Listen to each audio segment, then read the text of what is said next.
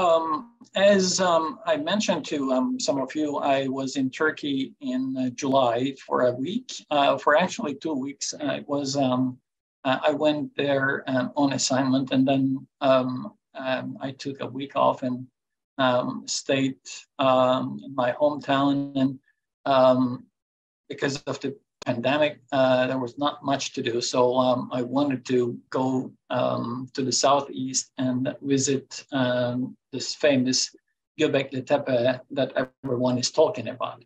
Um, of course, before going there, um, I had been uh, watching um, a lot of uh, videos, talks, presentations, lectures by the excavators, not anyone else. Um, there, I knew um, there was serious work um, going on and people uh, uh, were uh, making um, enormous uh, discoveries. Um, discoveries that will change uh, the way we uh, think of the past, um, not only the Neolithic period, but in general, how we um, assess our development, the human civilization uh, in general. Um, and since um, some of the things, or most of the things these people um, achieved uh, almost 12,000 years ago uh, are um, all um, uh, revolutionary um, uh, changes, I decided to call um, this presentation, the Neolithic revolutionaries of um, Anatolia, even though some researchers don't like the word uh, revolutionary um, in certain contexts. I'll talk about that as well.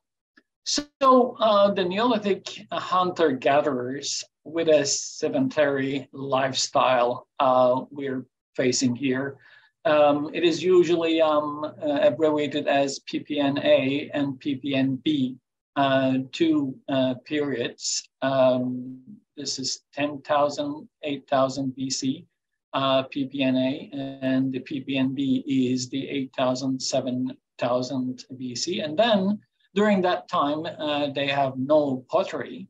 Uh, and, um, and then the following period is still Neolithic, but it is called um, pottery Neolithic. That is 7,000 and 5,500 BC. Uh, and then you have um, uh, previous uh, periods that are called uh, Paleolithic, uh, Mesolithic, and then you have Neolithic, and then following Chalcolithic and Bronze Age. I don't want to um, continue with the uh, with the um, newer um, time periods, but these are the time periods that we're dealing with. What we need to keep in mind, first of all, is that um, the Neolithic uh, is different in different parts of the world. So when we say pre-pottery Neolithic A, 10,000, 8,000 BC, we're talking about um, the Middle East, um, Southeastern Anatolia, uh, the Levant. Uh, we're not talking about uh, the um, Indus Valley or China or, um, or Africa. Uh, this is um, in, in different parts of the world, they had their own Neolithic uh, during different time periods. Um, this area was mostly studied by um, scholars um, in the 18th, um, 19th centuries. Uh, but one of the most prominent um, studies uh, uh, were done by uh, Gordon Childe.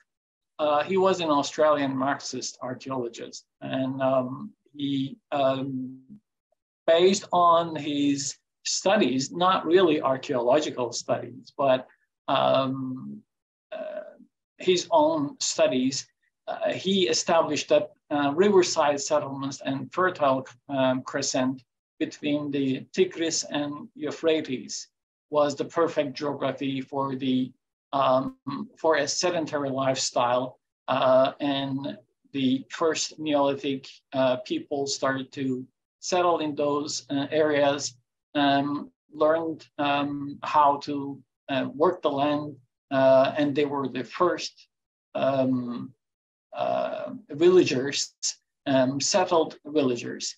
And then um, they, after a certain uh, time period, they took the sea routes to sail to northwestern Anatolia and then all the way up to um, Çanakkale, the Dardanelles, and then um, they proceeded to the uh, west. And um, they established um, the settled life in Europe around 3200 BC. You know, based on uh, um, the information available during his time, he didn't do so badly. But um, if he lived now, uh, he would have been embarrassed uh, by what he um, proposed.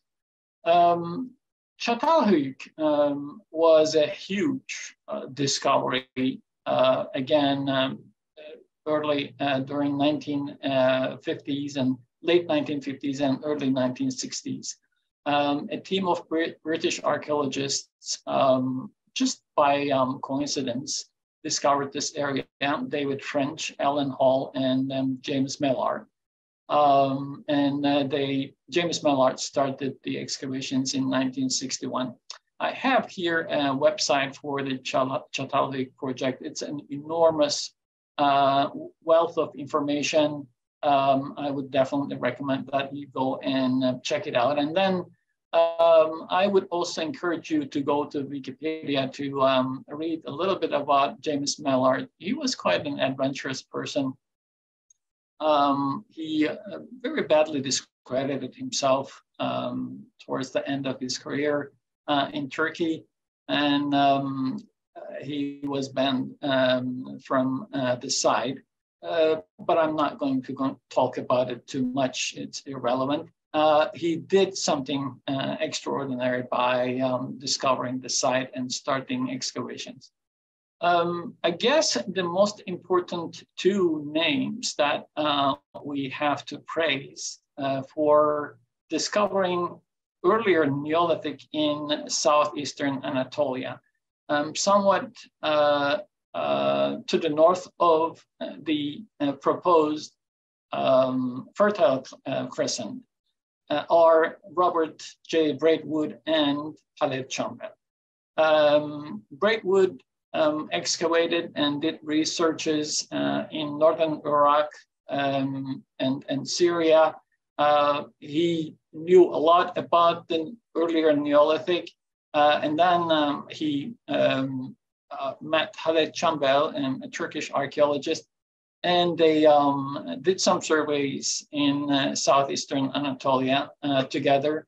And he, uh, Braidwood, predicted uh, a primitive village type of settlement um, um was in that area, and that um, could be very important and Halet Çambel, and knowing the area very well, um, established uh, that it was uh, uh, prudent to start um, excavations at Çayönü, um, pre-pottery B in Neolithic site in 19, um, sorry, this is supposed to be 1964, not 1694. Uh, they started excavations in 1964. Um, just jumping uh, over um, some time period between um, 7,500 and um, 7,400 uh, in thereabouts, uh, PPNA collapses. Uh, especially this is um, um, visible um, at Çayönü. Large buildings, temples disappear, social unrest, um, there is um, uh, there are uh, traces of um, uh, fires, uh, maybe climate change also, um, maybe um, variations in production um, and self-sufficiency. Something happens and uh, the PPNA collapses at uh, Çayönü. And what comes after is a real um, revolution, uh, which we will talk about later. Um, now we need to talk about um, Harald Hauptmann, um, a German archaeologist um, um, excavated at Norşuntepe. Uh, again, uh, even somewhat more north of the Fertile uh, Crescent. And together with him uh, came Klaus Schmidt. Uh, and slowly we're coming down to um, what we wanted to talk about. And Mehmet Özdoğan uh, was an assistant uh, of Halet Çambel. So they all worked together in that um, uh, area. The, uh, the excavations and discoveries made in that area uh, have historical, philosophical, and theological implications. We have to um, keep that in mind when we look at the objects. Now, when we um, talk about um, revolutionaries, um, we don't mean uh, revolutionaries in the sense of um, our day and not even the French um, Revolution or uh, uh, Industrial Revolution, uh, but maybe Industrial Revolution, because um, if it were not uh, that person who uh, wouldn't put up with um, the simple transistor, and if they didn't um, uh, try and, and find a different way and um, invent an integrated circuit, uh, we wouldn't have uh, uh the electronic appliances that we used during 1980s and 90s. And uh, if it were not uh, the person who didn't sit um, as a complacent person and, and invented the microchip and microprocessor, we wouldn't have the comp computer technology that we have today. These are all um, revolutionaries who um, uh, thought outside the box and, and, and they um, simply wanted to change something. And, and this is human nature. Uh, and this is what we are going to see in the uh, following presentation. So this is the um, famous um, uh, fertile um, crescent. As you see um, in this map, um, it is taken uh, uh, stretched uh, to the north. Uh, in, in earlier uh, maps, you would only see uh, this area. you wouldn't see Göbekli Tepe, for instance, um, within the um, fertile crescent. but here we see um, Göbekli Tepe, uh, Hallan Çemi, Nevalı Çori, Çatalhöyük, and all the others. Um, as some people uh, claim, Göbekli Tepe, the, um, um, the beginning of time, uh, the, uh, the oldest um, site uh, for human civilization, those are all made up um, assumptions uh, by an, an unqualified uh, commentators. Um, but um, the, the idea, uh, the um, fertile uh, crescent is about to die. Uh, yes, um, the, uh, the area between the two rivers um, called Mesopotamia, which is actually, which means actually the land between the two rivers, um, was really important. But um, now we have examples of human activity that are much more advanced than um, those that we um, saw um, in, in the lower part of the um, uh, Fertile Crescent on either east or west. Um, here we have some uh, another map that um, shows uh, other Neolithic sites. Göbekli Tepe is, of course, uh, the focus of everyone nowadays, but Nevalı Çori uh, was really important during 1960s, 70s, and 80s. And uh, Hallan Çemi during uh, the same time uh, was extremely important. Um, Can Hasan, uh, Aşıklıhöyük, um, uh, uh, and of course, Çatalhöyük um, um, yielded enormous uh, artifacts uh, that show uh, the development of human civilization. Um, if you haven't been uh, to Ankara, the capital of uh, Turkey, um, you have lost a lot, I would say. Um, during my pre previous presentations, um, I uh, mentioned the name of the um, Anatolian Civilizations Museum um, at Ankara. It's, it's an incredible museum where you would see the historical development of uh, human civilization uh, by the date. Uh, in that sense, it is the museum that anyone and everyone who is interested in history should visit. Uh, now we have a second museum that I um, will talk about later. And here is another map that um, shows more uh, Neolithic sites um, excavated uh, in Turkey.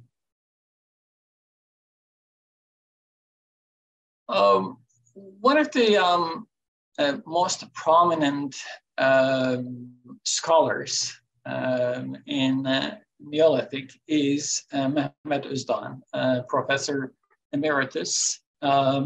He uh, gives talks uh, on a regular basis, uh, and, and each time he talks, it's like um, pearls are springing from his mouth.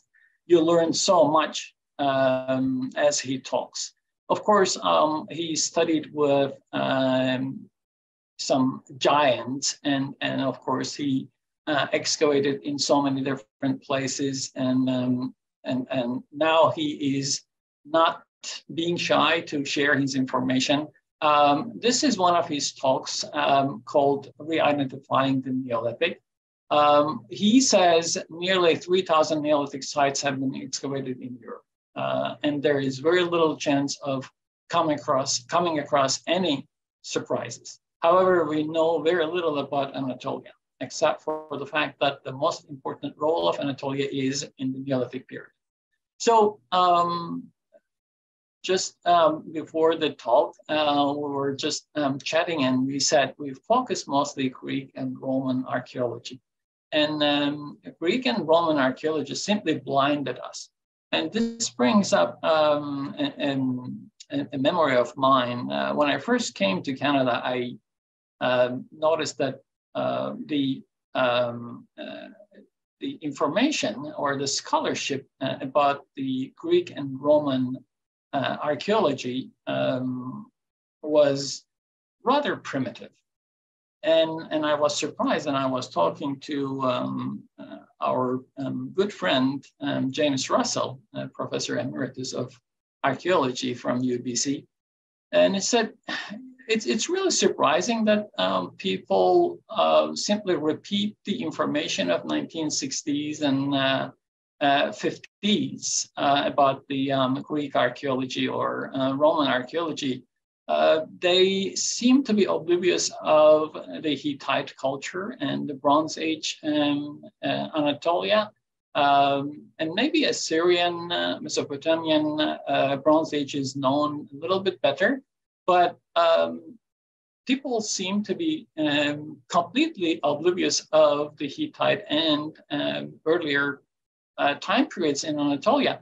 And, and Jim was really um, um nice and, uh, and, and candid uh, in his replies. Well, uh, mostly the Hittite uh, sites in Turkey were excavated by German scholars and they wrote in German, and we bloody didn't know um, uh, German, and we couldn't read what they read, uh, what they wrote.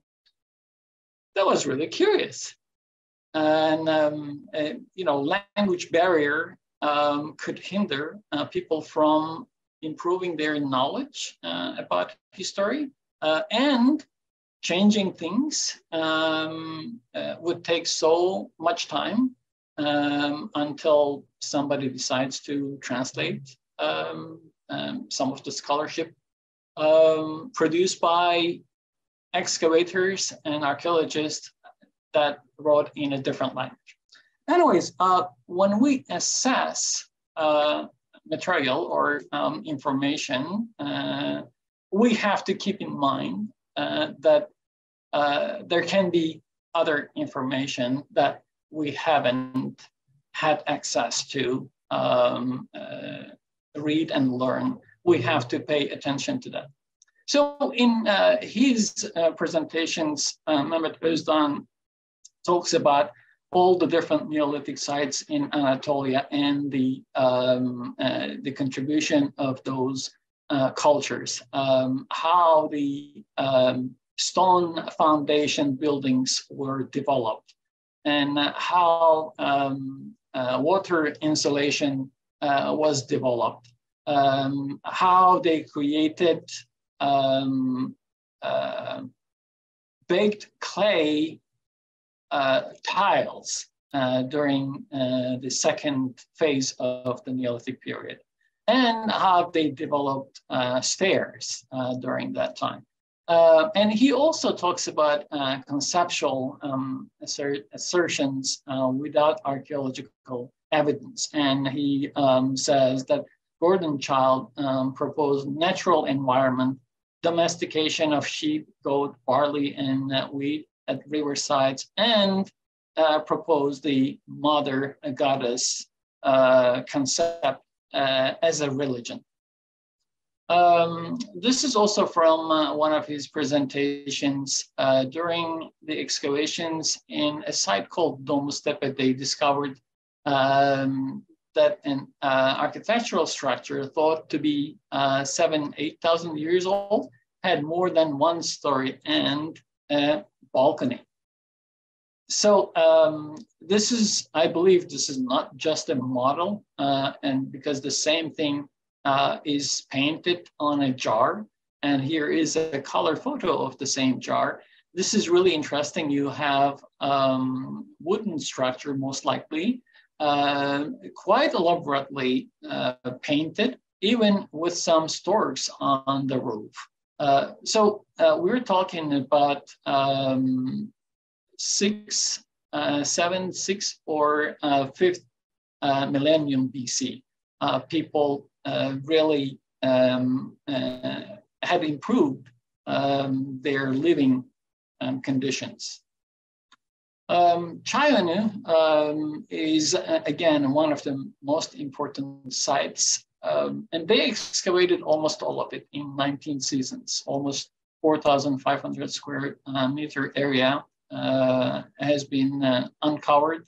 The social structure was completely um, unearthed and um, and they um, they believe that um, the uh, PPNA um, was prominent, but um, towards the end of PPNB, um, there was some kind of a social unrest. It was not an invasion. Uh, it was not a total destruction. There are not there are not uh, mass graves, um, so individual graves um, continue, um, but um, something happened and they um, destroyed uh, the existing uh, buildings and moved um, to the side, to the west, and, and rebuilt.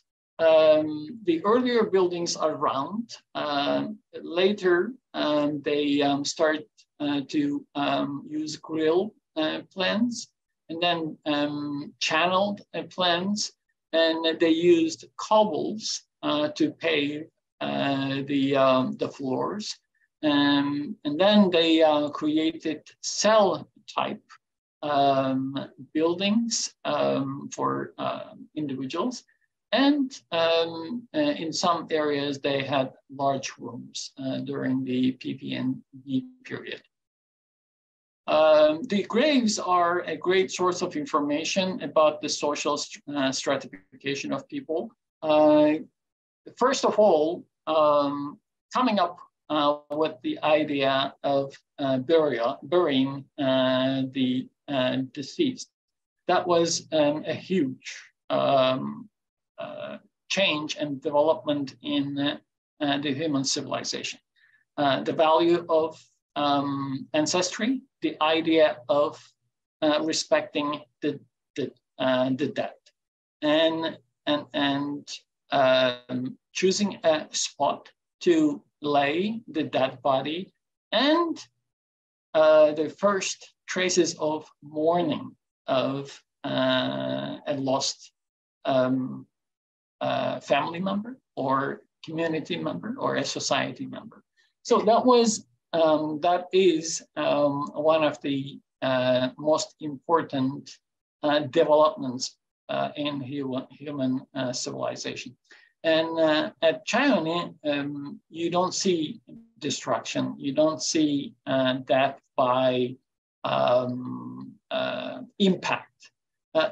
If there, um, there, if there is death by impact, it's usually between animal and um, humans, but not um, uh, because of uh, social unrest and uprising and people killing one another mostly um, natural deaths. By the way, uh, the life expectancy uh, during this uh, time uh, is between uh, 30, 35. And if a person um, survived um, until his or her 40s, that person would, um, would have been considered uh, old. Um, the, these are um, photographs from um, Çatalhöyük, uh, the um, second uh, phase or the third phase of the Neolithic uh, period. Uh, this is a completely egalitarian um, society. And, um, and it can even be considered uh, the earliest um, city because um, about 8,000 people lived in, um, in this town. And the sizes of um, the chambers or the rooms are very, very similar. Um, no public buildings, uh, all of them uh, are very similar uh, in uh, shape and, and sizes. And people live um, in a, a complete um, egalitarian uh, principle um, as far as uh, the excavations have revealed so far. Um, and um, no more uh, large um, structures, uh, whatever you would like to call them. Some people like to call them a, a temple. Uh, others would like to call them um, social structures, uh, gathering places. in uh, Çatalhöyük, um, there are um, some uh, small areas uh, that people ornamented with um, bull's horns, for instance, as you see here. Uh, and then they painted their uh, walls. Now, what is interesting about all these places is that um, after a while, maybe after the um, inhabitants of these um, uh, rooms died, they buried them. And, um, and it's good that they did that. Um, we don't exactly know, or the uh, excavators don't exactly know why people buried these um, houses, but um, the fact that they buried them um, uh, has been extremely helpful uh, for the excavators um, to find out more about these uh, places. For instance, um, these uh, wall paintings would have not survived had they been exposed to um, the conditions of the weather and, and, and air and, uh, and other um, hazards. So um, these are all buried uh, sites. Um, the mother goddess um, concept is so widely accepted and so widely um, known that until uh, the recent finds, nobody challenged it. This is one of the most famous um, so-called mother goddess um, statues at the um, Anatolian Civilizations Museum in Ankara, found um, in Çatalhöyük.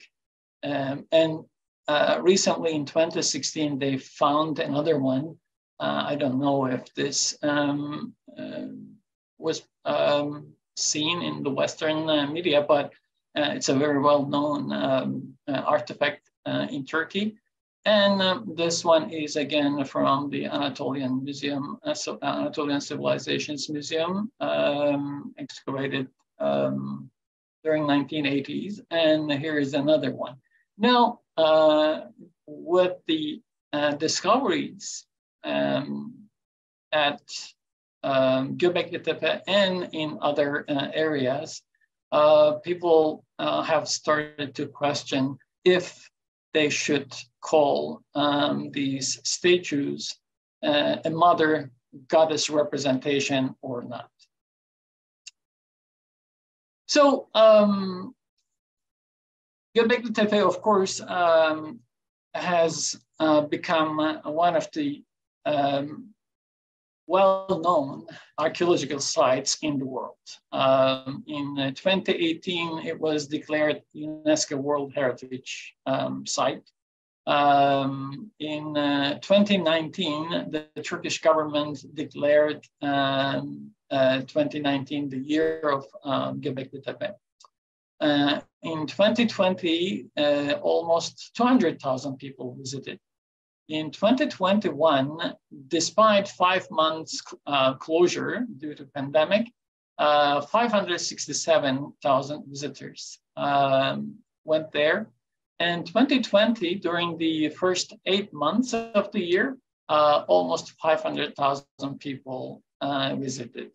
Um, in the last four months, uh, in the last two months, I'm sure people um, continue uh, uh, to um, going there and uh, marveling the structures um, at Göbekli Tepe.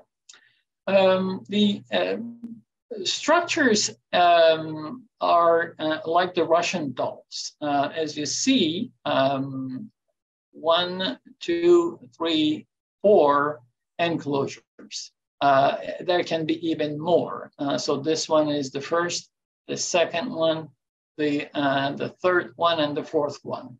Um, and and as you see, um, they started large, and then um, they um, uh, continued to build in it. Um, when you look at the um, the area uh, that they decided to build um, these um, structures, uh, it's, it's a hollow um, area. It's a lowland. It's not on top of the hill, but it's, uh, it's a hollow part of the, uh, the hill. Um, they um, learned how to uh, build walls but they didn't know how to support the walls. So they had to build in uh, by digging the ground and using the, um, uh, the earth uh, to support uh, the walls. And later on, they came up with the um, stone pillar ideas, but previously they used wooden pillars.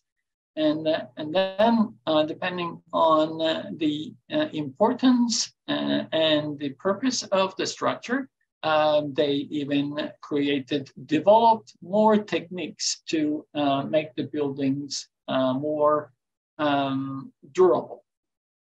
that's why they have multiple um, um walls. Um, this is a photo from um, one of the earlier um, uh, excavation uh, times uh, of the um, um, Göbekli Tepe. As you see, this part is the top uh, of the hill, and this is uh, rather uh, the lowest part of the hill. and then um, you have, they discovered that um, there were um, settlements uh, in different parts of the uh, hill. As you see, the whole area is actually quite large. And, um, and um, when they started excavations in 1996 um, by um, Klaus Schmidt, uh, uh, they um, found the, the most important site where they uh, excavated a, a large public building, and uh, Klaus Schmidt immediately declared that it was a temple, uh, the earliest temple, And then they continued to uh, excavate and then they found more and more and more chambers similar to the first one that they discovered. And um, slowly the rhetoric um, changed and um, and then uh, they decided to uh, do uh, more analysis and more uh, drills uh, in different parts of the hill to see what was going on. Um, one thing that they didn't pay attention to uh, was uh, the protection at that time. They excavated, everyone was so excited. Um, they were uh, unearthing um, never seen before um, artwork, um, if you would like to call them. And, um, you know, not to mention the, um, the architectural advancement uh, of uh, the people of Göbekli Tepe or the people of um, Çayönü and, and, all the other uh, earlier site, uh, sites um, in the Fertile uh, Crescent and in the Levant. Um, but the artwork, um, the pillars, uh, T-shaped uh, pillars uh, were all um, carved um, various um, um, animals um, images. Uh, they were all mostly wild animals, and and interestingly, most of them are male, and and they made sure that you see that it is a, a male representation.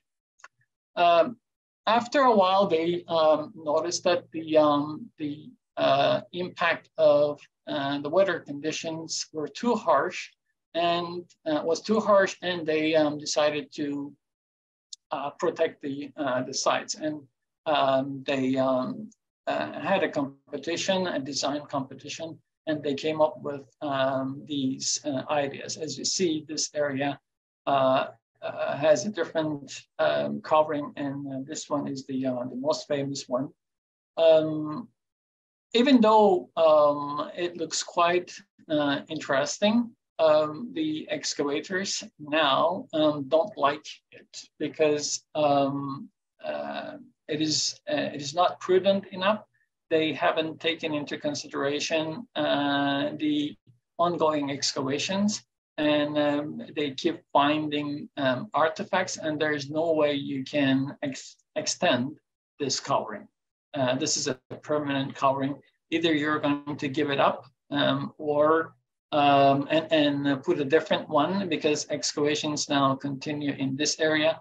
And as you see, uh, they have other excavations going on in this area, and there will be um, more excavations. And, and the worst thing is that as the uh, limestone uh, T-shaped pillars um, uh, are exposed to uh, the weather conditions, the, uh, the drawings, uh, the sculptural uh, elements on them um, unfortunately uh, deteriorate and um, if, if they don't protect them, um, they will completely um, be erased uh, by the weather conditions. Um, these um, T-shaped pillars uh, some of them, not all of them, uh, some of them um, were carved um, with uh, uh the images of various animals. Um, a vulture, um, uh, some other um, animals, and mostly wild animals. And as you see here, this is when it was first excavated. This is when it is, um, this is a recent photo uh, as you see, um, how um, uh, badly uh, the uh, the friezes um, have been deteriorated. Um, and then uh, there are other pillars um, on which uh, you have uh, bulls and snakes and foxes. And here and here's another one with a fox. Maybe it's incomplete, um, they don't um, uh, finish the details maybe. And here is um, a, a, mountain lion, um, maybe. Uh, and here you have um, some uh, birds and a boar.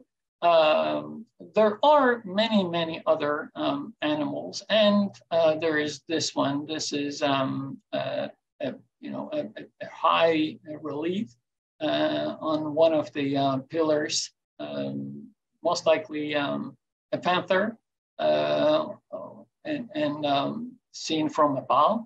And uh, below is um, a boar, and, and, the panther is about to pounce on uh, the boar. Um, so, you know, people usually ask, um, what did these um, drawings, uh, friezes, um, meant? Of course, um, this is a time period when we have no uh, writing and um, nobody um, uh, left any information regarding the purpose of these buildings and the purpose of the carvings on these uh, T-shaped uh, uh pillars. Um, and, and, it is um, the guess of anyone. Uh, when archaeologists um, speak in such reservation, um, the layman think that archaeologists don't know anything. Oh, this means that. Oh, that means that. And and uh, um, and due to the nature of um, um, publishing archaeological uh, information um, and and the delays in uh, publishing that information uh, created almost um, um, an irreversible chaos um, many people, uh, I call them um, cell phone journalists, uh, visited the site and, uh, and um, took photographs and then uh, videos. And then um, since the official um, excavation reports had not been um, published in a timely manner, you saw a lot of garbage uh, online and, and of course, um, the uh, excavators and scholars had to do something about that. And like any uh, disaster, pandemic um, uh, worked really well in that sense. And uh, the, uh, the um, scholars working in these uh, sites gave numerous talks. And, um, and, and for the first time in my um, um studies in uh, archaeology uh, and history, um, I feel privileged to uh, listen to those um, scholars in Turkish, in my own mother tongue. Um, in 1965, uh, they uh, found this um, sculpture um, somewhere near Adıyaman, uh, again, southeastern Anatolia now it is called the Kilisik um, statue, and it was considered an archaeological oddity. Um, they accepted that it was ancient, but they put it in the storage for decades until a member of the Göbekli Tepe team rediscovered. Uh, it's, it's an obvious pillar shape or human shaped uh, pillar, as you can see, the head, the arms, um, the loin cloth, uh, most likely um, an animal skin, um, uh, something uh, like a robe uh, wearing uh, here. Uh, and and um, it's, it's an incredible um, statue, but the information of 1960s was so poor, they didn't think it was um, important. And interestingly, when you examine the uh, Göbekli Tepe uh, T-shaped uh, pillars, you see the exact same um, design. Uh, the head is not carved, there's no face, but it is obviously an, uh, a head, and you have the arms, you have a belt, and you have the um, uh, loincloth here. And this is repeated uh, in so many different uh, places in so many different ways. Um, some um, archaeologists um, suggest that this person is holding a, a fox. Um, uh, under his arm or her arm. Uh, and um, and this, this, is just a um, representation of uh, a person. And um, they found um, this statue. This is um, a statue that they uh, found uh, in central um, Şanlıurfa. Um, as a matter of fact, the largest um, mound in that area is located in the center of uh, the city, Şanlıurfa. And, um, and it is uh, considered the first full-size representation of uh, a male figure uh, in stone. Um, and, and, the most important uh, element here is that this person with two hands uh, is holding his, what they would call in um, archaeological jargon, his phallus, his penis. Um, everything is very um, nicely depicted. Uh, the person is wearing some kind of um, um, a dress uh, with a V uh, collar, double V collar, and the, the deliberately holding his uh, penis in his hand. Um, now, remember uh, what they discovered in, in Çatalhöyük um, and, and they had already established the mother goddess um, uh, concept. Um, this came as a complete surprise. And then they found this, and then they found this. Well, actually, this one was found uh, earlier, and then this one was found. So um, uh, this one uh, was found by a farmer um, while plowing his field near Göbekli in 1986. And um, the uh, the village people, he he took it to the village, and village people made fun of the uh, the farmer. And um, he didn't know what to do. He decided to put it on the back of his tractor and took it to um, uh, the museum. The museum people looked looked at them and they said, "Oh, this is too grotesque. It cannot be real. It's and they didn't want to take it uh, first. And then the guy said, uh, I'm too embarrassed. I cannot take this back to my village. Either you take it or I'll just dump it. So they reluctantly um, took it uh, from the, uh, the villager and put it aside uh, until um, Klaus Schmidt and his team um, visited the museum and, and saw it. And they said, no, this is not a grotesque um, uh, statue, but this is a Neolithic period um, art and, and most likely uh, from uh, this region. And then, of course, they um, excavated, they started to excavate uh, at uh, the Sayburç uh, site, and they found this one. So um, more and more male depictions um, start to um, appear.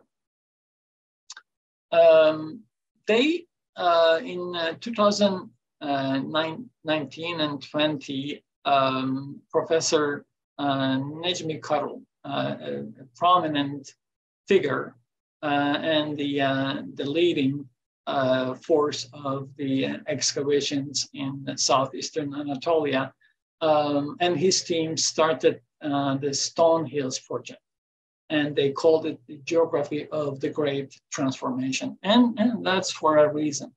And uh, they um, uh, established uh, 12 sites, including Göbekli Tepe and Karahan Tepe. Harbetsuvan, the Tepe by, the, by means hill. So Göbekli Tepe, um, Belly Hill, Karahan Tepe, Harbetsuvan Tepesi, Gürcü Tepe, Kurt Tepesi, Taşlıtepe, Sefertepe, Ayanlar, Yoğun Burç, Sayburç, Çakmaktepe, Yeni Mahalle.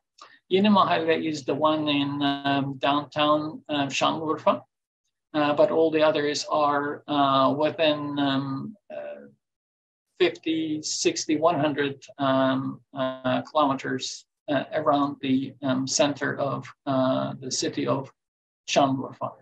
Um, and they started excavations in seven um, sites uh, simultaneously. Uh, Professor um, Karul is an extremely um, um, well-educated and um, uh, well-experienced archaeologist. Early on, he uh, examined the work of the earlier excavators, and he concluded that it would be uh, inconclusive to focus on one side. Uh, by the way, um, after the death of, uh, unfortunate death of Klaus Schmidt, uh, who started excavations at Göbekli Tepe, um, for a long time, nobody um, took over the excavations. And finally, uh, Professor Kara took it over. Uh, and, and he decided that it would be um, illogical to focus on one location. And, and um, they did some surveys and uh, they uh, found um, all these different sites and they started to um, excavate um, uh, on at least seven of them uh, to see um, how this human activity pan out in that uh, geography. And did he do a great job? Um, he himself um, focused on Karahan Tepe uh, and uh, he made some um, extremely, extremely important, revolutionary um, discoveries. So um, the Karahan Tepe uh, excavation started in 2019, and uh, so far they excavated 2,500 square meter um, area. Uh, this is an aerial photo uh, of the site. So we are talking about um, uh, an area of um, uh, this much. And they have excavated in this area only. And um, before excavation, this was the, uh, the landscape. You had T-shaped pillars um, everywhere. And with a little um, effort, you could see um, that uh, the uh, site was going uh, deep into the um, uh, earth. Uh, this is from his presentation. Um, uh, earlier uh, this month, they had um, a, seminar um, or a symposium uh, online, which was hosted by um, the um, Archaeology News um, website or YouTube channel and uh, it is called archaeology um, uh, discussions. Um, uh, more archaeology. Um, so they invited um, the uh, excavators and scholars of um, the Taştepeler uh, project, the Stone Hills project, uh, to talk about um, their findings in 2021 and in 2022. It's a four and a half hour long um, uh, program. Uh, there are um, some um, scholars uh, who spoke in English. So I, I would definitely recommend that you um, go uh, on YouTube um, to the link that I, I have here uh, to watch um, uh, the at least the, the parts uh, with uh, English speaking presenters. You will find their information extremely um, valuable. So at Karahan Tepe, they um, located four major areas of focus. Uh, in uh, this area, they have the quarry, um, stone, um, um stony uh, part of the um, site. And, and in this area, they uh, uh, project to find um, rather um, small structures like um, houses, small dwellings. Uh, in this area, they um, uh, uh, also expect some uh, public buildings. And in this area, they, they made some uh, incredible discoveries that we will just talk about.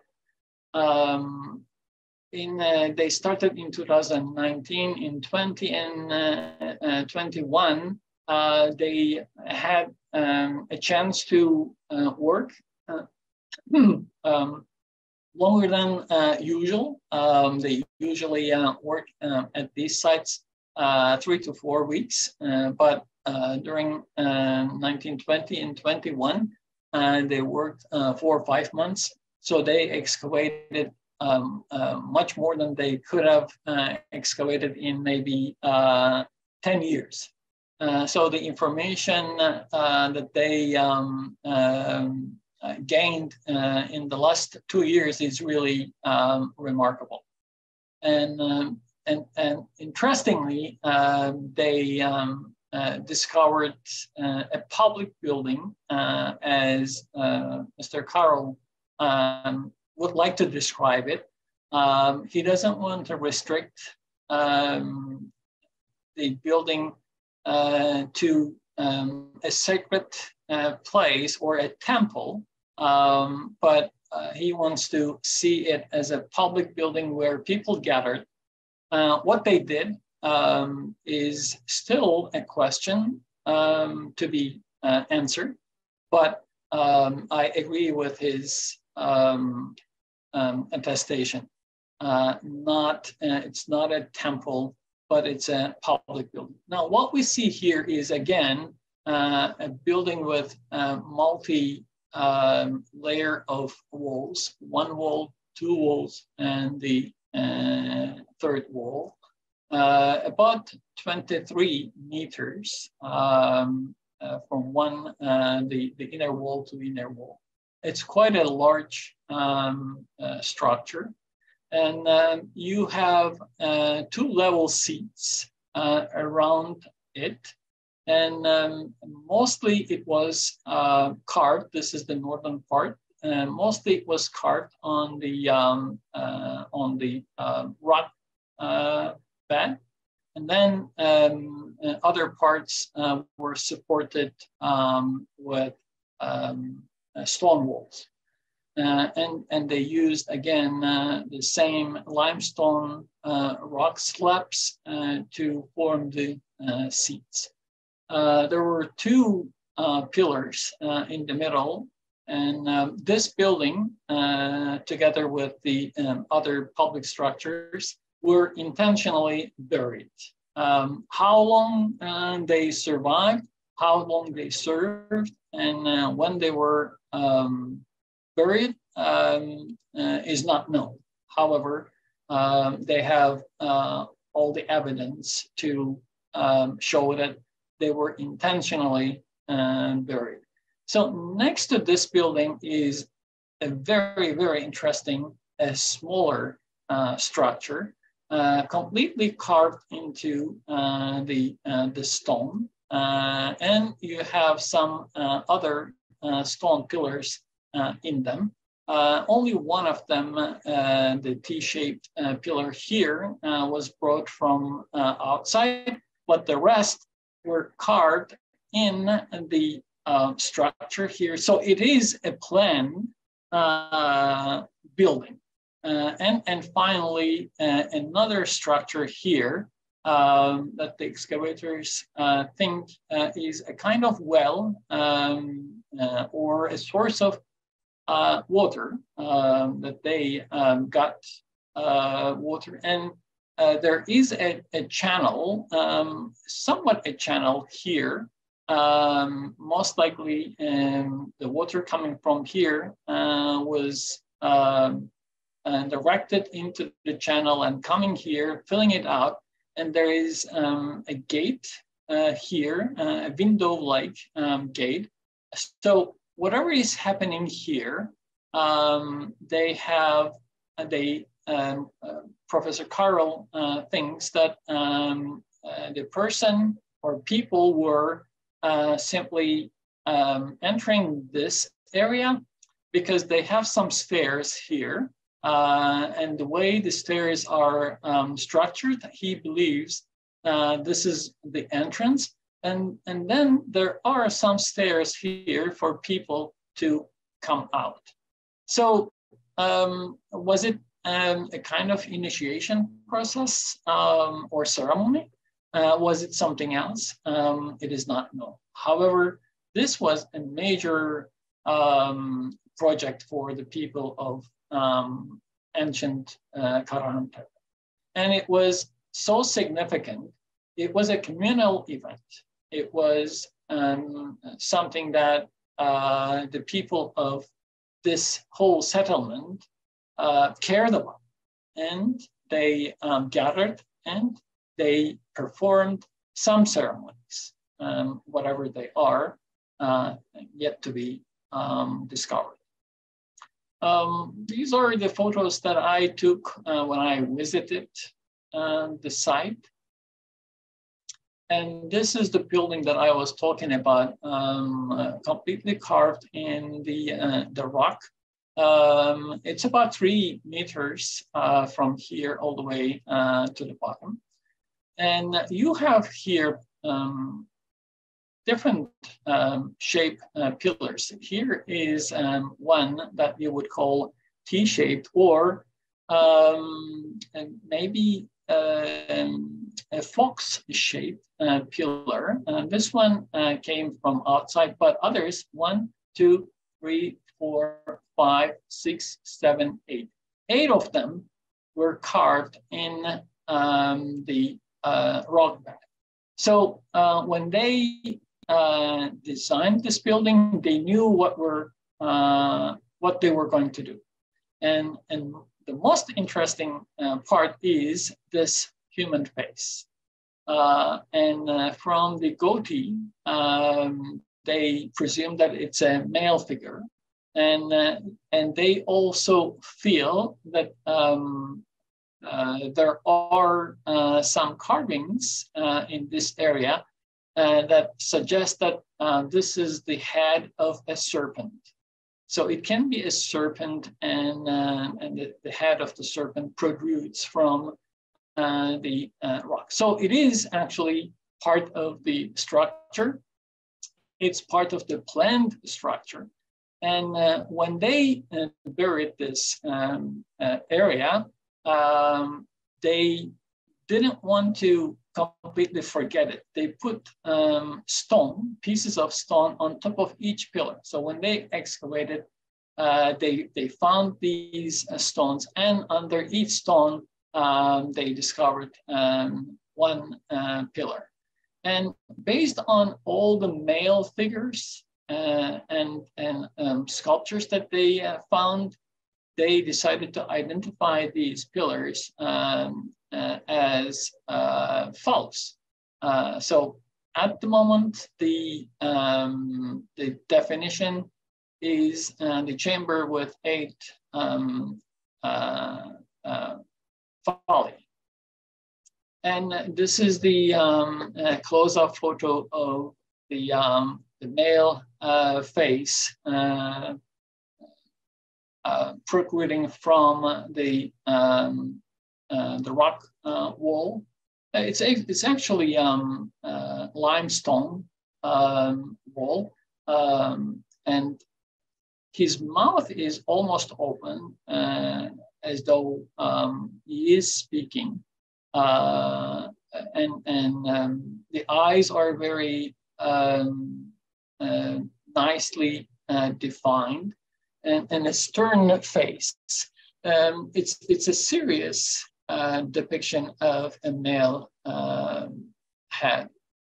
Uh, and this is a close-up uh, photo of the water uh, or liquid chamber that uh, I just mentioned. As you see, they um, uh, carved it in a nice way. And then um, they have drawings on the um, side walls. it's, it's a snake, as you can see here. I have another photo. Uh, the snake continues all the way here. The head is here. Another one is here. And then you have a fox here. Um, this is a, a, photo of the quarry, um, a, a T-shaped pillar. Uh, they uh, almost finished carving it, and it's it, it was um, almost ready to um, to go, but um, it was left here alone. And just for you to uh, appreciate the size, I decided to share with you this photo with uh, three um, excavators uh, on top of it. Uh, again, uh, the uh, layers of the building. So there are 17 pillars um, circling um, in the middle, two large pillars uh, two levels of uh, seats. Um, this part is excavated in the rock uh, or uh, others uh, were built. Um, there are um, leopards, uh, foxes, and vultures um, um drawn on the um, on the pillars, on different stones, and they were um, carved as statues. Uh, many, many uh, animals, but more than animals. Uh, Göbekli Tepe predominantly yielded um, animal figures, and Karahan Tepe predominantly yielded human um, statues, um, as well as um, animals. Um, what is um, revolutionary uh, at Karahan Tepe uh, in terms of excavation work is that uh, Mr. Karul um, decided to get um, um, uh, archaeobotanists and archaeozoologists uh, involved.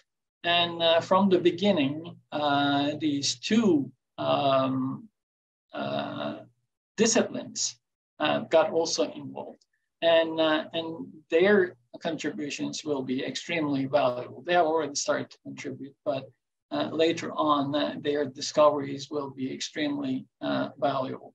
Um, this is a reconstruction of uh, this public building at the moment. Uh, they can always change this reconstruction in time.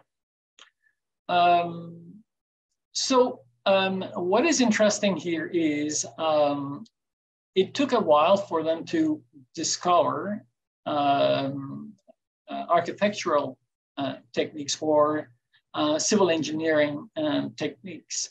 Um, first round buildings and then uh, rectangular uh, buildings. This is a pattern that you see in many different uh, Neolithic sites um, across the region um, it took a while for them to uh, figure out how to support um, the, the corners uh, and um, build a roof on top of um, a rectangular or square um, uh, structure. Uh, the round structures uh, were difficult um, to create chambers uh, within. Um, they were either very small uh, or very uh, large. However, uh, when they um, discovered um, the technique to um, uh, create uh, corners and, and uh, build square or rectangular buildings, they um, were able to create chambers, um, sub chambers within each um, uh, room. And, and this way, um, they discovered the, the room, multi-room uh, structural idea. And these are uh, early um, experiments of uh, the uh, rectangular um, chambers. As you see, there are one, two pillars uh, here. there's a corner here, like a kitchen and um, or another area here, uh, a utility um, area, um, um not much known uh, what the purpose was. Uh, the same can be uh, seen here. Uh, here you have four pillars, one, two, three, four, uh, and two um, seats, again carved on the rock bed. here um, they used again, uh, limestone uh, slabs uh, for the for flooring. And so this, this area was um, purposefully um, chosen because of the uh, the limestone uh, formation. Uh, there was enough material for them to build and improve their building um, skills and techniques. So this is um, the uh, the special um, uh, three meter deep uh, chamber that I was talking about with uh, phallus uh, eight um, uh, phalluses. Um, this is uh, the earlier part of the excavations. This is um, from the side. as you can see, it was um, intentionally uh, filled and uh, in certain parts they used um, clean uh, um, earth uh, and, and in other times they used all kinds of rocks and uh, um, boulders to uh, fill it up. And you can imagine um, how much work, how difficult it must have been for them to uh, fill in uh, these chambers and, and even the larger one. And this is um, just to give you a perspective of the size of the, uh, uh the pillars. Uh, and this building and the um, uh, buildings um, attached to it yielded so many um, human um, sculptures. It's just unbelievable. Uh, Mr. Karul um, doesn't want to believe uh, that uh, it was a, a direct vertical um, hierarchy society, which means um, uh, there was a, a king or uh, an administrator or a ruler that dictated others, but it was a communal um, society uh, vertical and horizontal hierarchy survived at the same time. Um, there was some kind of a ritualistic life rather than uh, a religious uh, life. People, um, the smaller chambers, uh, housing areas, uh, as they call them, uh, seem to be same size. there are people more real, um, privileged than others. How do they know that? Uh, from the graves in different parts of the Neolithic excavations. During the, um, uh, the um, uh, pre-Neolithic A uh, period, uh, there are uh, graves that um, contain with wealth and they contain wealthy um, items and then um, graves, uh, you know, with nothing significant in them. That shows uh, us that uh, there was some kind of a stratification uh, within the society, but it was not um, um an overlord uh, or um, more privileged, but not uh, in terms of social structure. Um, accumulated wealth or position based on um, their position within the uh, community. Uh, and uh, a lot of um, sculptures. Here is another uh, figure. Um, his phallus is really uh, visible, as you can see. Uh, the arm um, can be seen here um, holding uh, his belly, maybe, uh, and, and in a sitting uh, form. Um, here is another one uh, with um, some kind of um, an, an, an animal depiction in the front, uh, a loincloth, uh, uh, fingers are um, very uh, nicely depicted, only although it's only four fingers here. And uh, on the other side, you have two foxes. Uh, here is another one. This one uh, they excavated this year. Um, as you can see, this figure is similar to the Kilisik one that I showed you, found um, in Adıyaman and um, the what was considered an archaeological oddity. Uh, no more. Um, and this one is uh, even more interesting. There is a kind of snake uh, carved um, on the front side of the figure. Uh, this is really uh, interesting. Um, a human uh, figure um, carrying um, a leopard on his back. Uh, and, and the leopard is showing uh, his teeth uh, completely. Um, it's not like it is um, attacking the human, but it's a kind of um, depiction that um, shows us uh, that human can uh, live with uh, wildlife, uh, maybe, uh, or human can um, somehow uh, use the wildlife in his favor.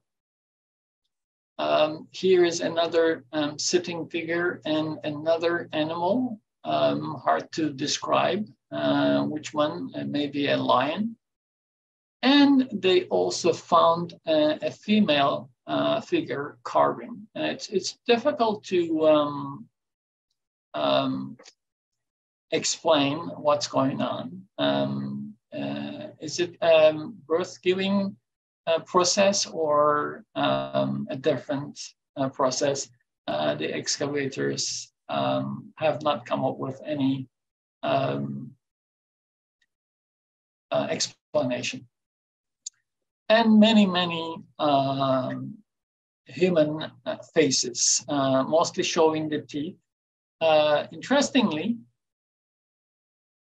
they were found in the, the filling uh, and um, their noses, almost all of them, um, lost their noses intentionally. The excavators believed that they uh, were broken intentionally.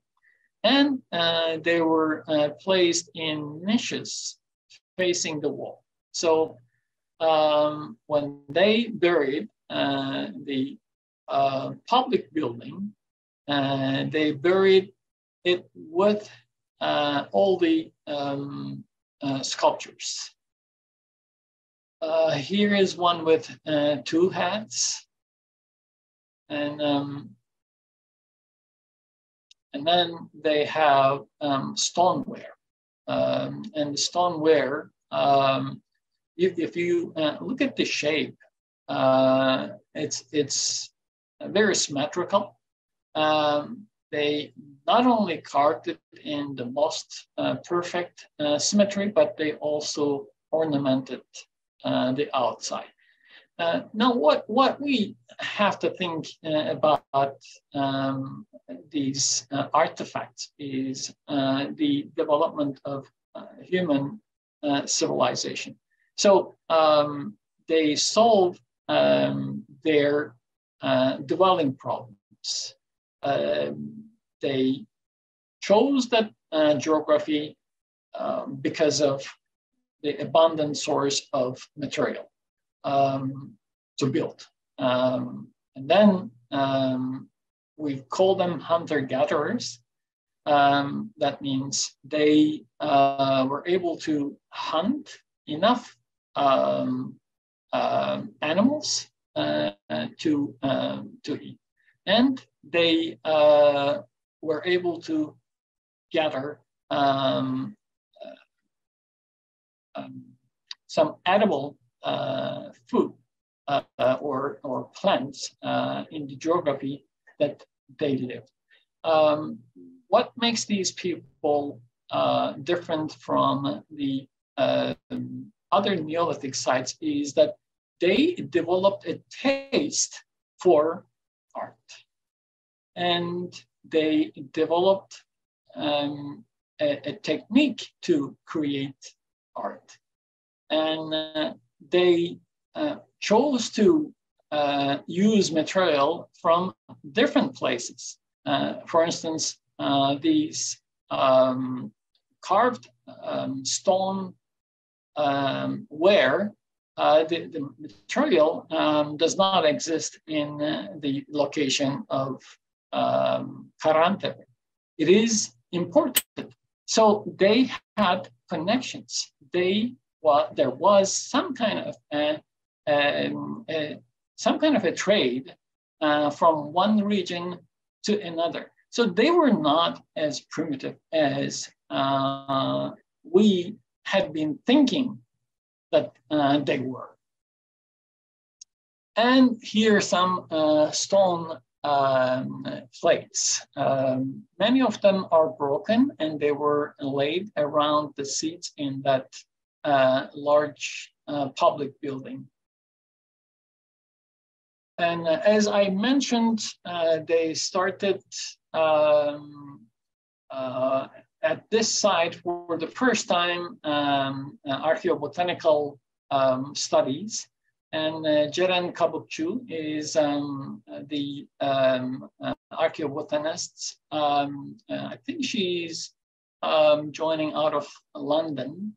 Uh, and um, they um, are looking to find traces of uh, turpentine, pistachia, uh, wild almonds, lentil, vetch, and other uh, ligaments and also wild rye, wheat, and other uh, And um, from the beginning, uh, they um, processed 3,000 plus liters of excavated earth and, um, and archaeological, archaeobotanical uh, material. And uh, one fourth of uh, the material um, has been analyzed so far. So for the first time, uh, a multidisciplinary uh,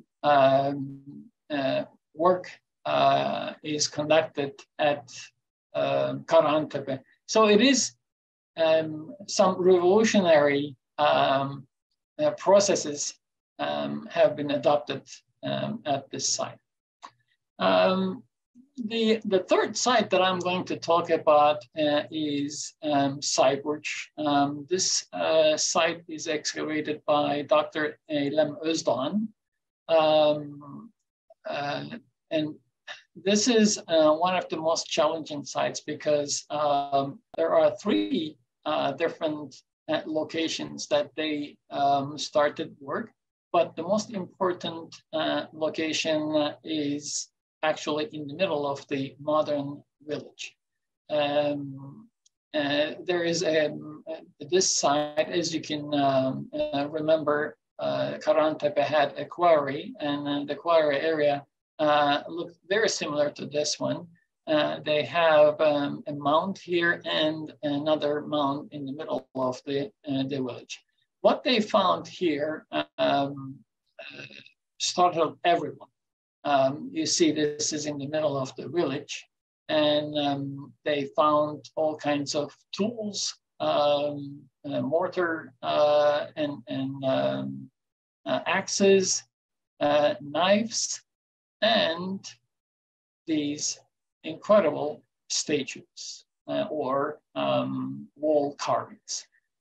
again, um, a, a, man, um, a human representation, left hand uh, is over the belly and the right hand holding the phallus. Um, uh, flanking on two sides, uh, two leopards. Uh, to the left is um, a naked uh, uh person, uh, male most likely, and holding um, most likely again a snake uh, facing um, a bull. Um,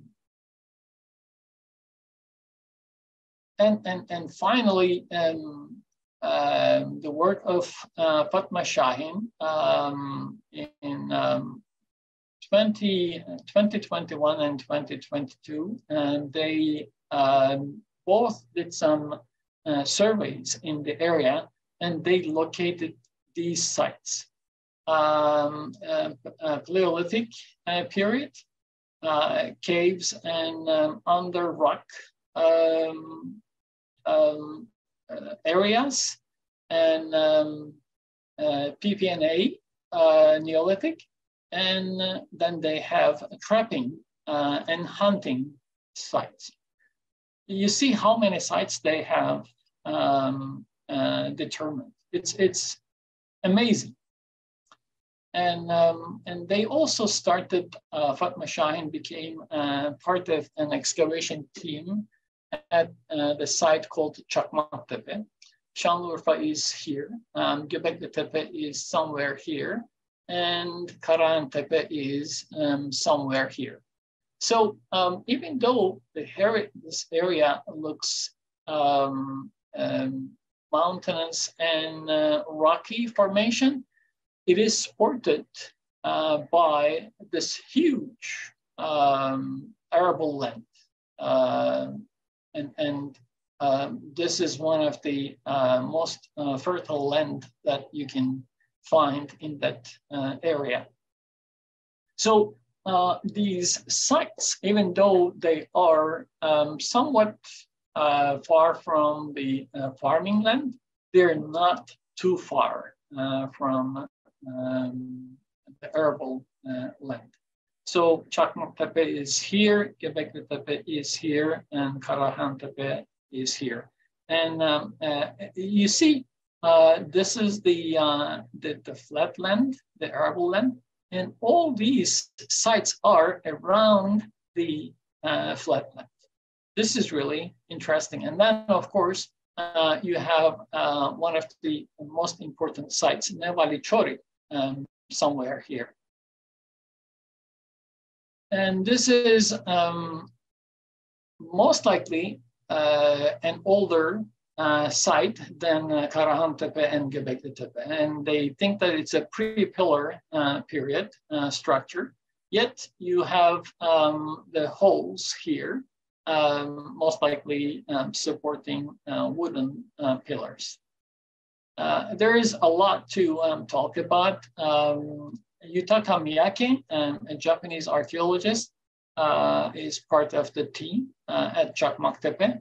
And um, he speaks uh, fluent Turkish, uh, very, very uh, admirable uh, that, you know, he learned uh, the Turkish language and um, did his presentation in Turkish, uh, very, very um, remarkable. And this is a reconstruction of um, one of the um, smaller um, buildings that they excavated. And uh, literally thousands of um, tools, uh, all kinds of uh, cutting, drilling um, uh, tools. Um, and um, this is another site uh, called Harbetsuvan Tepesi. Again, another Japanese team um, excavates here. Um, their findings are uh, also remarkable.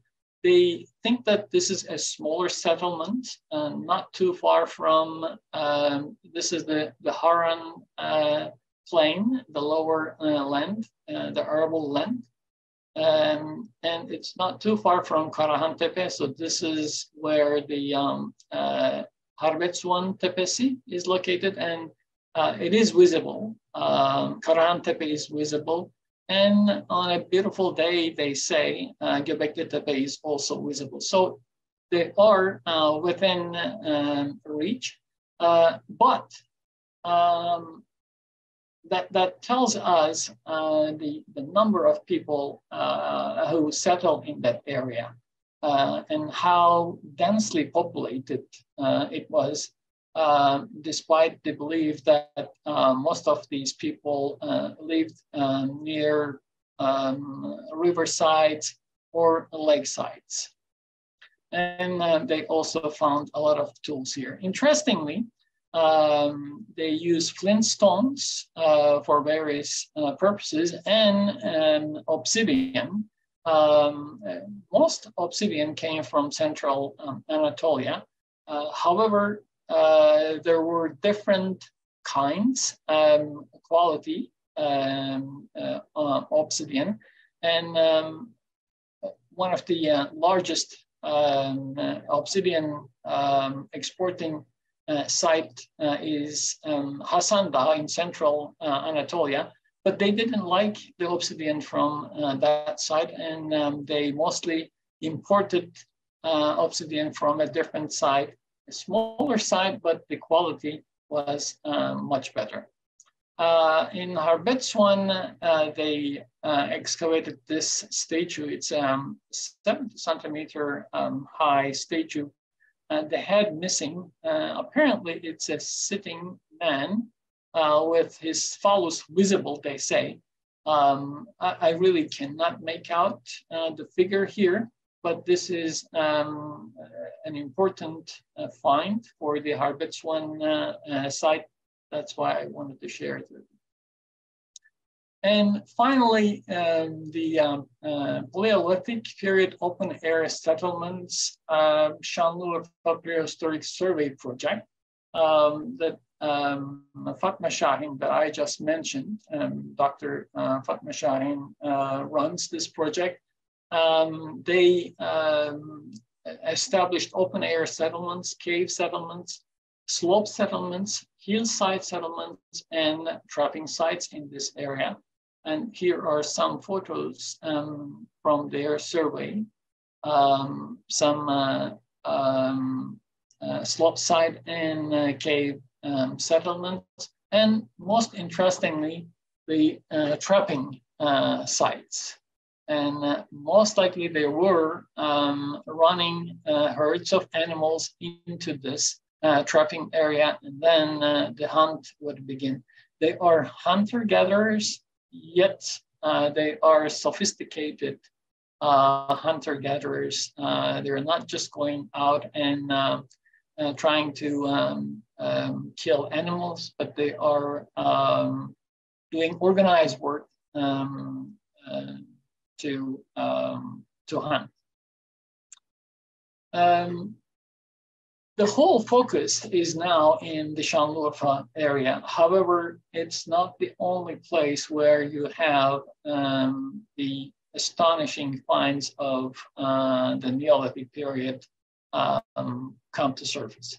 Um, Körtüktepe is uh, worth mentioning. It is not too far, but still out of uh, the Şanlıurfa area. So Şanlıurfa is in this area and Körtüktepe is further to the uh, east. Uh, not too far from uh, and Çatalhöyük and Naşıklıhöyük are here. Um, it will soon be inundated by the waters of the Ilısu Dam, uh, unfortunately. However, uh, the excavations um, uh, have started in a timely manner and um, it continues. Um, and this is the area where they will be um, digging.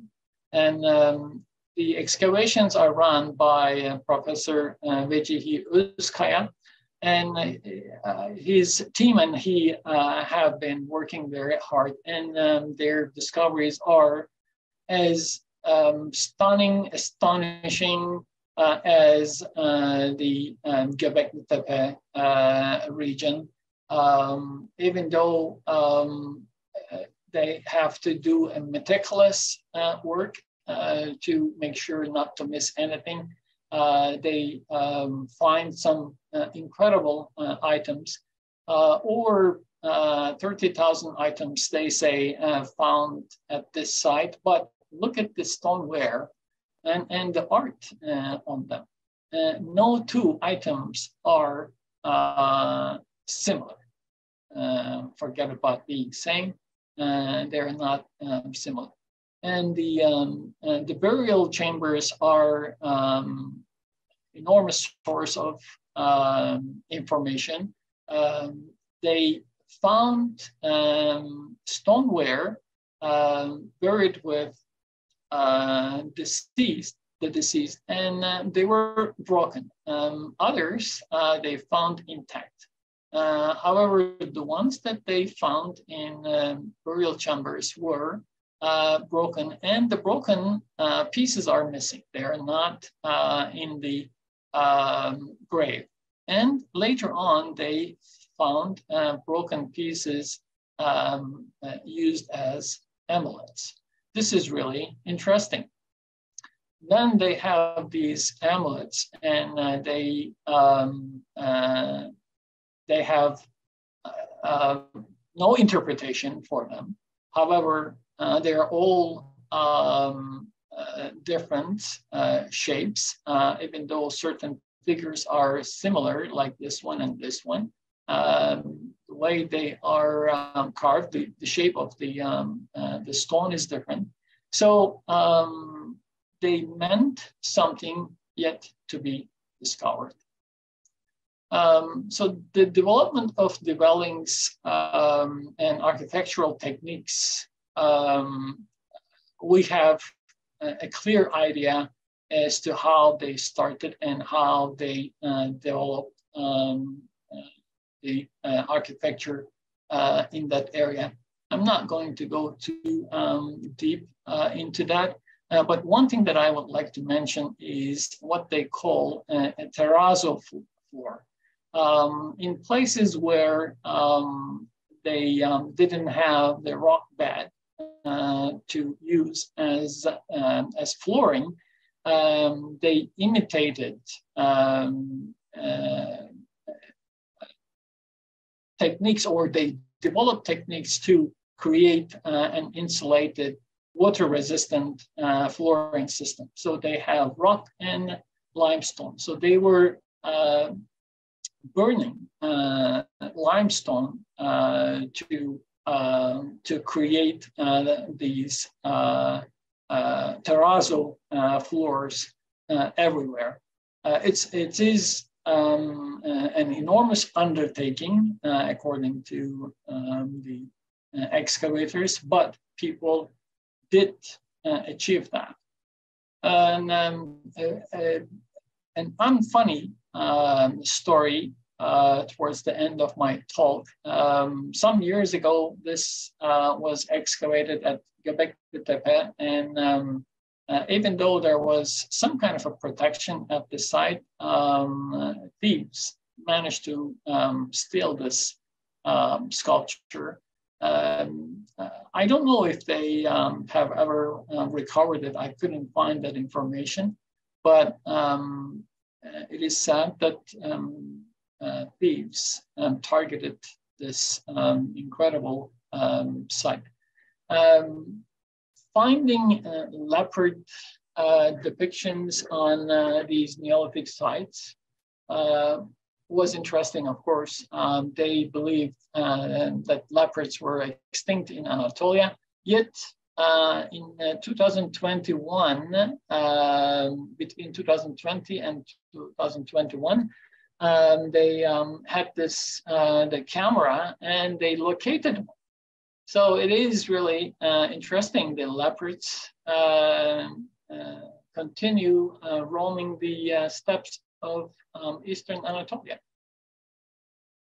And um, there is um, a Tahberer connection here. Um, a couple years ago, um, someone from the um, uh, Hacettepe University um, in Ankara contacted my wife and uh, asked um, her if she could help them to um, um, make a, um, a, bust or head based on uh, a skull that they excavated uh, at Çayönü. Um, and they um, dated it to 9000 BC. Uh, based on the skull, it was inferred that the person had a slim and petite uh, face. And uh, again, using morphometric methods, tissue thickness in different parts of the head was determined and the shapes and uh, places of soft tissues like the nose, the lips, and the mouth were determined based on the skull measurements, they say. And, um, and, and Selma worked on um, this uh, project and, uh, and she sculpted this, sculpted this, this head. And um, uh, to tell you the truth, um, based on um, Salma's feedback and my observation, um, using morphometric methods and uh, also determining uh, the, uh, the tissue, soft tissue uh, shapes and uh, places by this method, by that method is um, um, has nothing to do with um, the um, the end product. Um, every now and then I hear that people um, built um, uh, heads and um, busts uh, based on um, skulls.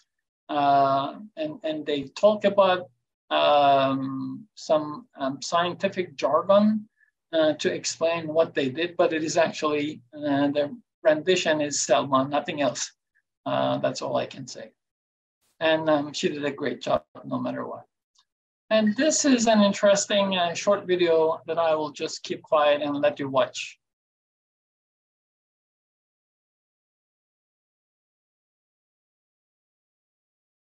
I'll just start it again.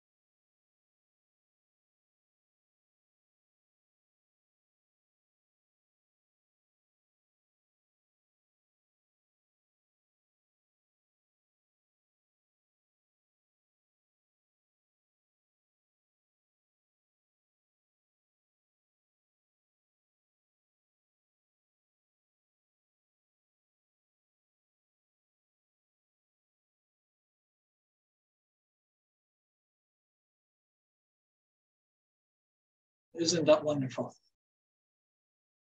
Um, I have some uh, further reading suggestions here, um, especially um, the books of um, Gordon Childe.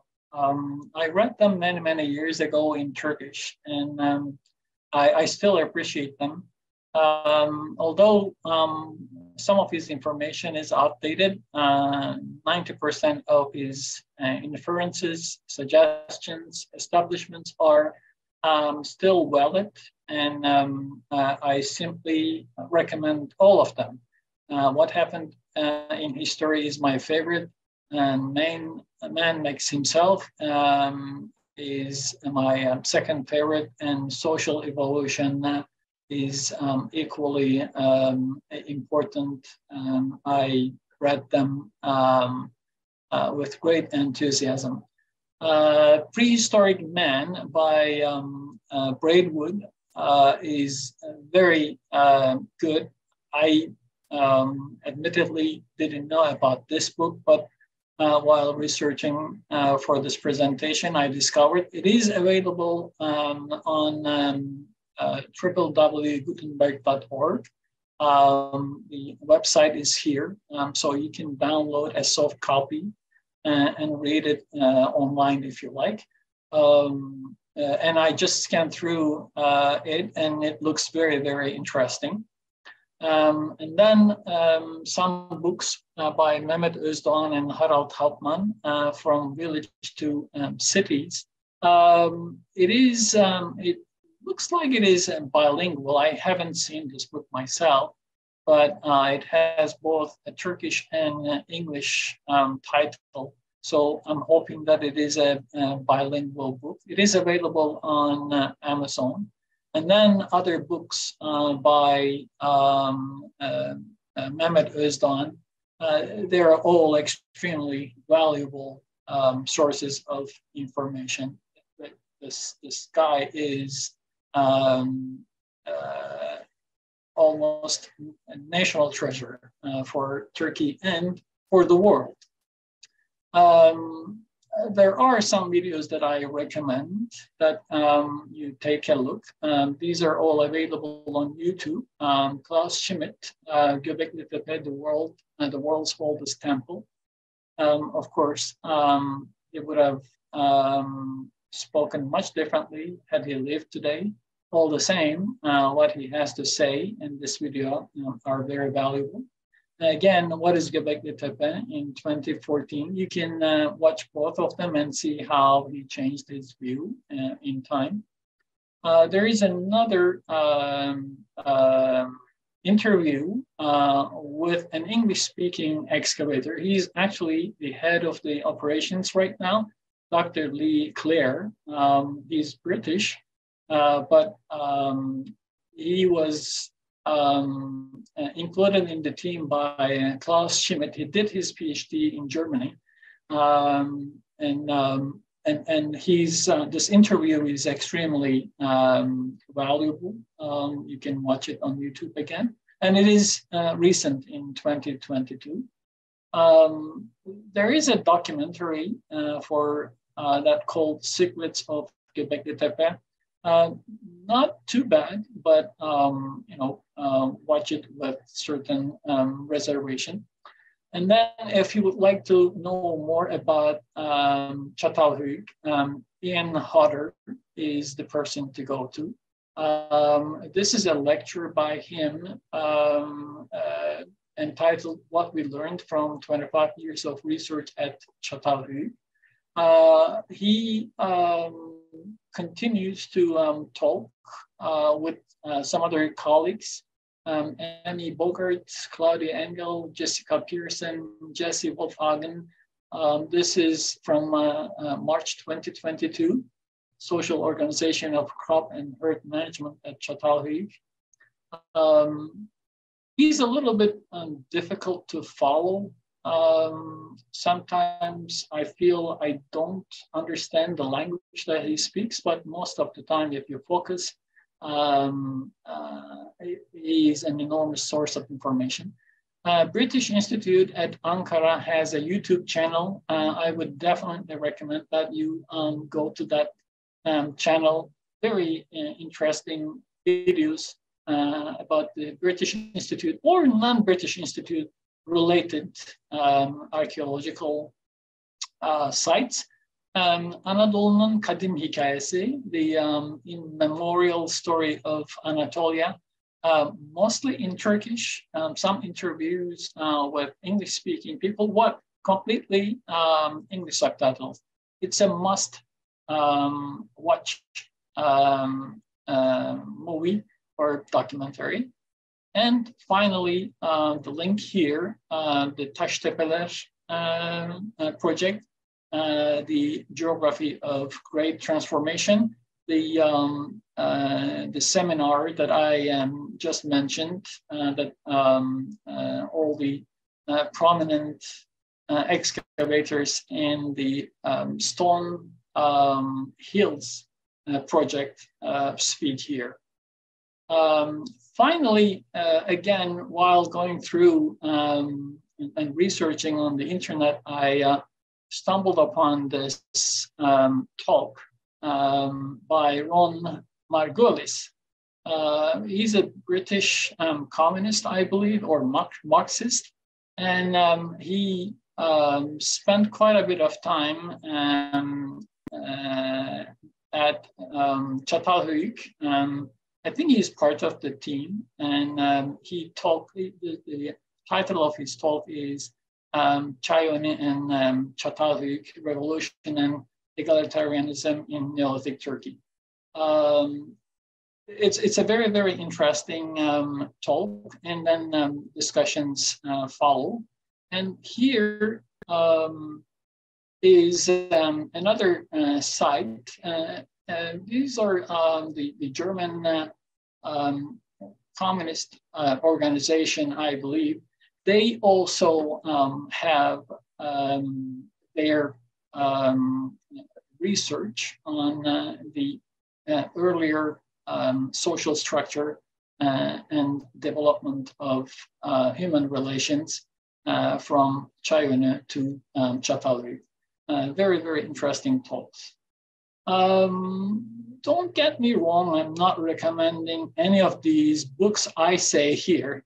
Look at this. Uh, people who have nothing to do um, with uh, Göbekli Tepe and uh, all the other Neolithic sites wrote so many different books. It's just unbelievable. Um, I thought um, we we had a lot of imposters in Turkey, but many English-speaking writing um, imposters out there. Uh, I'm sure you will come across these uh, along the way. I would say uh, be careful. And then um, again, if you go on YouTube, um, you have these people, um, Karahan Tepe, they discovered Karahan Tepe.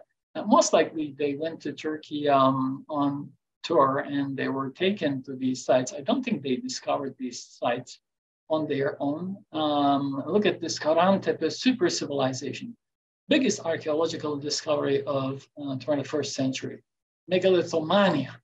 And then they, you know, have other videos. And finally, um, those who um, have um, Netflix might know about this. Uh, there is this um, uh, series um, called Ancient Apocalypse. Uh, the fifth um, chapter uh, is about um, Tepe. Again, um, I don't know what these people try to achieve uh, by um, um, trying to make connections with um, uh, stars and uh, uh, winter solstices uh, summer solstices, how the angle of the light hits the head of the sculpture. What are they trying to achieve? I don't understand. But, but I have an idea, uh, of course. Um, uh, we humans don't like change. Um, those who um, uh, are not complacent and try to change what is um, um, available uh, are called revolutionaries. Um, of course, archaeologists, uh, with their suggestions, um, uh, the way they interpret what they discovered, uh, they speak with certain reservation um, instead of making um, uninformed assumptions and claims they simply say, oh, we still need to um, research, we still um, excavate further. Um, but then uh, you have um, smart people out there, as soon as they hear the professor says, he doesn't know what it means, they say, ha, stupid, it is such and such. So um, people um, do a lot of interesting things online. Of course, we all love um, uh, and want to be recognized. And, um, and I can understand that. But uh, unfortunately, internet, the internet is full of um, garbage. Um, at the beginning of my talk, I said uh, the Anatolian Civilizations Museum in Ankara is a must-see place. The second must-see place is here, the Şanlıurfa um, Archaeological Museum uh, predominantly Neolithic. Um, all the finds from Göbekli Tepe and Karahan Tepe and all the other um, uh, stone uh, hill project uh, excavations uh, are um, housed and displayed here. Uh, earlier, um, late last year, early this year, they um, opened a new um, section for Karahan Tepe incredible uh, place to visit. And this is just a, a small um, uh, part of uh, what I saw. Um, this is a reconstruction of the, uh, the large um, chamber at Göbekli Tepe.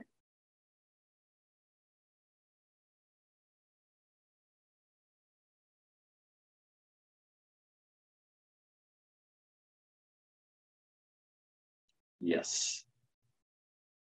Yeah, and um, this is a site in in um, Şanlıurfa, but I'm I'm going to stop uh, talking here.